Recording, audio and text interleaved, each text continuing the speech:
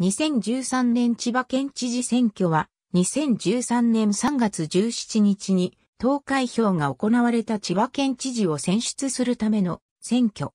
現職の森田健作の人気満了に伴う知事選挙。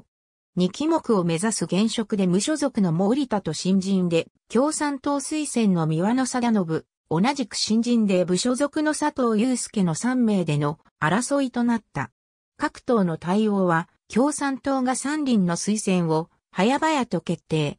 前年の衆院選後に政権を奪還し与党となった自民、公明両党は森田が出馬を表明した直後に支援を決定。みんなの党も支援を表明し、日本維新の会も県選出国会議員団として森田の支援を表明した。その一方、独自候補擁立を目指していた民主党は調整が難航し、最終的に公認、推薦候補を擁立せず自主投票とする方針を決めた。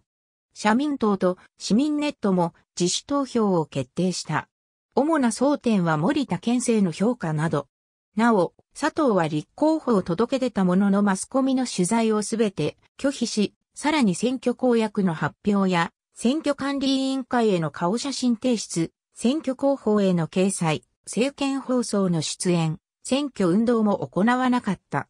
政見放送では、放送がない旨を伝えた上で、放送局のアナウンサーにより経歴は読み上げのみ、行われている。最終的に、届け出書類上の31歳、シェアハウス経営、神奈川県横浜市在住と、政見放送経歴読み上げでの産業能率大学卒業、元テレビ、東京アルバイト以外の情報は公にされなかった。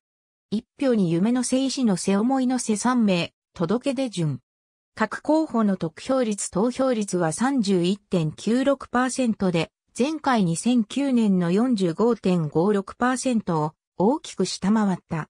当日の有権者数は499万4065人で、投票者数は159万6044人であった。候補者別の得票数の順位、得票数、得票率、赤配率、供託金没収外境は以下のようになった。供託金欄のうち、没収とある候補者は、有効投票総数の10%を下回ったため、全額没収された。赤配率は未発表のため暫定計算とした。現職の森田は1期目の実績を強調。東日本大震災を教訓とした災害対策や東京湾、アクアラインなどの交通網を活かした地域の活性化などを訴え、支援を受けた自民党、公明党、みんなの党、日本維新の会の基礎票をまとめたほか、不動票や無党派層の票もまとめ再選を果たした。